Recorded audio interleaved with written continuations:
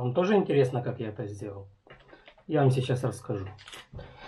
Собственно, хочу представить прототип, уже третья версия, специальные рукоятки заряжания, вернее это кит с боковой рукояткой заряжания для R15, R10. На фейсбуке недавно кто-то выложил скриншот там или ссылочку на видео. На Тайване китайцы сделали прототип. Фирма называется AST выпустили из пластика не 3D печать, а именно сделано из какого-то хорошего пластика. Но, повторюсь, это было сделано фирмой AST, Airsoft Taiwan. А, некоторая переделка на манер для газовых а, страйкбольных винтовок, у которых есть вот а, возможность заряжания рукоятки, то есть передергивания, у которых принцип работы как у оригинальных R-систем.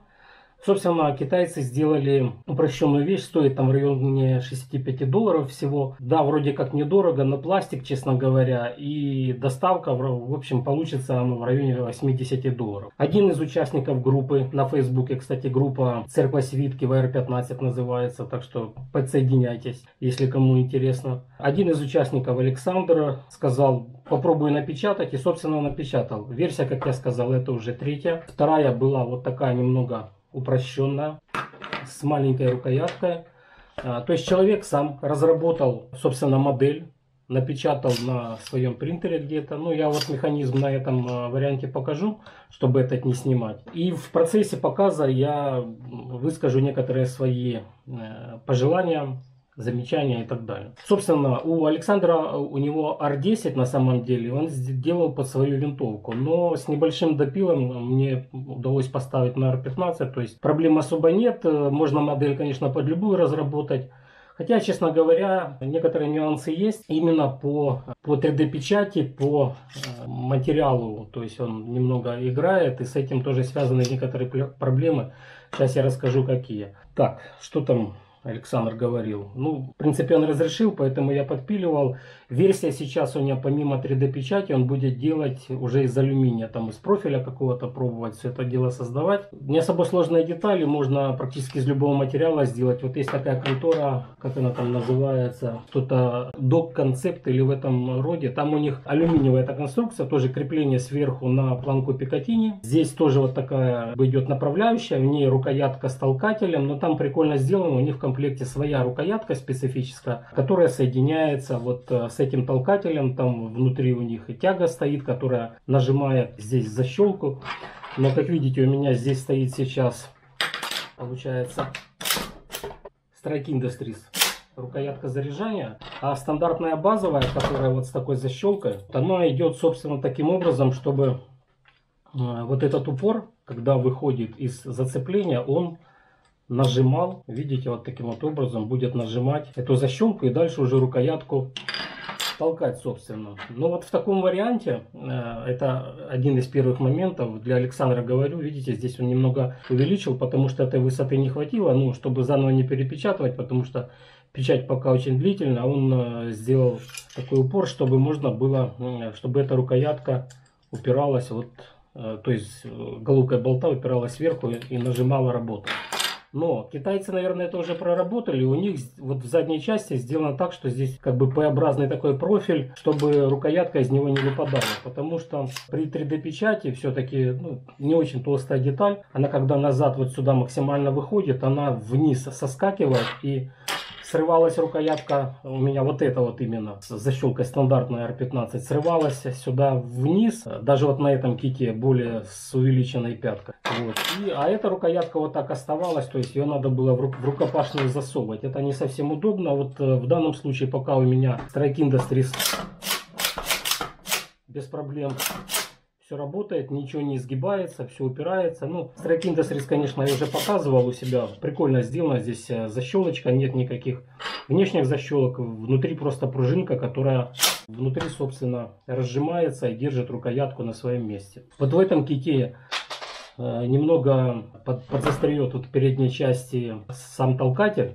Но я думаю, это из-за того, что более плотно подогнанные просто детали. Ничего страшного в этом нет. Можно чуть-чуть сточить и как бы будет нормально работать. Опять же, можно смазывать там солидольчиком внутри, будет оно все скользить нормально. Вот. Ну, понятное дело, что это пока все прототип, все игрушки, полностью его использовать как бы особо смысла нет. Когда сделать нормальную модель, отработать, можно это все дело вырезать из алюминия. Я думаю, будет очень классно. Во-первых, можно более ажурно, тоненько все это сделать, э, как бы более плотно прижать его к каперу, рукоятки сделать, складные, поворотные, какие угодно. Вот складную рукоятку сюда она просится, чтобы при возвращении она складывалась вот сюда. То есть здесь место будет оставаться, и можно будет удобно как бы ее брать, и чтобы она открывалась, то есть вы взвели, отпустили, оно закрылось, и по действиям инерции рукоятка складываться будет вперед. Классно, классно. Кстати, вот АСТ эти у китайцев, о которых я сразу говорил, да и на фотках э, будет видно, которые я где-то вставлю. Э, у них э, три вида рукоятки. Одна средняя, там такая длины, другая чуть покороче, примерно как здесь. Видим разницу на рукоятках они по длине. Э, маленькая, ну, в принципе, можно уцепиться, но немножко есть свои нюансы. Вот я бы ее, конечно, перевернул в эту сторону, тогда зацеп будет более правильный, потому что так она немножко соскальзывает. Саша, это как бы э, тебе такой небольшой совет, что упор лучше делать с этой стороны, а в эту сторону просто вот под этот палец. Я думаю, это будет более правильно. Ну, как бы кому как нравится. То есть, ну, здесь на двух винтиках сделано, я думаю, можно будет повернуть, ничего сложного в этом нет. Так вот, продолжим. Значит, у китайцев три вида рукоятки, две прямые и одна изогнутая, то есть ее можно или вверх поставить вот так, или вниз просто, ну, типа как у Галиля всем известного, да. Вот. Но у него, хотя у него рукоятка с этой стороны вверх стоит, но тем не менее. По моментам еще что? Так, это вот еще дополнительная тяга. Да, э, точно говорил. Вот тяга, собственно, два винтика. В нее винтиками вот здесь прикручиваются эти рукоятки. То есть она вставляется, рукоятка прикрутилась. Конструкция простая до безобразия. Ничего страшного нет. Как видите, даже пластик э, напечатанный выдерживает на нагрузки оружейные. Ну, в принципе, это можно будет еще попробовать пострелять. Опять же, там попытаться сделать тактику какую-то, подергать. Вот. И посмотреть, что получится. В принципе, мне нравится. Прикольная штука. Теперь немного перейду к минусам. Ну, несколько я уже сказал, да. То есть может немного выгибаться направляющая, но ее можно даже в каком-то корпусе, даже пластиковом сделать из другого материала, там, направляющую алюминиевую какую-то поставить. Я думаю, жесткости там хватит, чтобы ее не выгибало. А, также один из э, таких проблем я не взял с собой прицел, но я думаю вы видите здесь по расположению э, вот этих крепежей, что сюда э, не получится поставить, не всякий моноблок вернее получится поставить. Какой-то коллиматор и так далее поставить можно, но моноблок под оптику будет упираться. И вот у этой фирмы DCC, о которой я упоминал, у нее задний вот этот крепеж есть. Ну здесь по-любому нужен крепеж, потому что внутри здесь болт, который проходит через э, пропил на планку Пикатини, он собственно упирает рукоятку, чтобы вся эта конструкция не съехала назад. Вот на переднем даже нет. Вот у этой фирмы DCC у них заднее крепление есть, а передняя здесь вот эта направляющая, она просто с таким поворотом упирается просто в боковуху апера. Все, этого хватает, потому что она сделана из алюминия,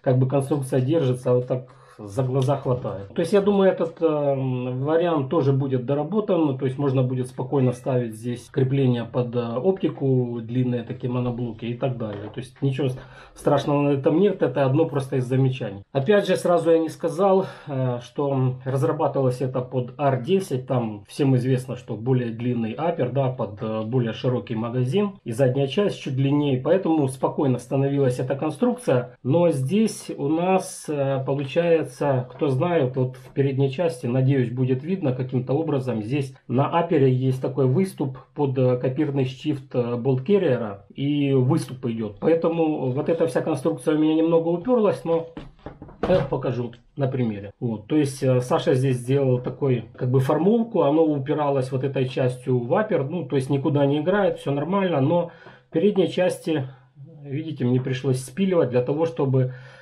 наделась эта конструкция и не мешал вот этот выступ на апере под э, коперный штифт. Что еще из минусов небольших, которые в принципе можно проработать, а на некоторые можно просто пренебречь. Вот смотрите, у меня случайным образом просто попробовал, лежала спарка Макпулов на маглинке и Э, При попытке поставить, кстати, так никто не сказал, почему магазины должны вот так стоять. Вот. При попытке поставить магазин, то есть эту спарку, упирается просто магазин в, во всю эту конструкцию и нет возможности его просто поставить, защелкнуть. Ну и рукоятка неудобно будет браться. Да, их можно поставить на одном уровне, но тогда эта спарка не будет работать. Если кто не напишет, почему не будет, я позже сделаю об этом отдельное видео. Ну, если захотите, конечно. Поэтому, если захотите, пишите. Нужно ли это сделать, почему магазины нельзя ставить на арке в один уровень. Ну, пока это все, я думаю. Такая конструкция довольно интересна. Кстати, вот Александр еще просто бросил в комплект такую штучку. Тоже на 3D принтере напечатанная мушка со светособирающим элементом. Довольно прикольно. Кстати, можно целиться, особенно э, в темные мишени какие-то. На светлом, ну я вижу, про- просто плохо у меня же видит правый глаз. У меня минус 4 на правом глазе. Я мушки практически не вижу. Вот так отдельно я ее вижу нормально. Но это, наверное, за счет левого глаза. Левый более-менее четко видит. Вот. Но в какие-то темные мишени, э, темненькая мушка, зеленый элемент, светится прикольно. Ну, я, может, попытаюсь камеры показать, чтобы вы увидели. Ну, пока на этом все. Вот такая конструкция. В общем, если вам интересно, пишите комментарии, заходите в группу Церковь Свитка R15, присоединяйтесь. Там ребята постят всякие интересные штуки. Я тоже периодически пощу. Кстати, у меня тоже есть э, группа отдельная, но она чисто посвящена моему каналу, хотя я тоже так периодически туда какие-то интересные для меня лично подбрасываю новости там или фотки какие-то связанные с оружием подбрасываю. Так что тоже присоединяйтесь. Ссылочка прямо на заглавной странице моего канала вверху ярлычок Фейсбука. Ну и все ссылки в описании будут под видео, естественно. Так, на этом все. Знаете, что делать. Подписываемся на Facebook, на канал в Телеграме, на группу в Телеграме. Всем пока. Счастливо.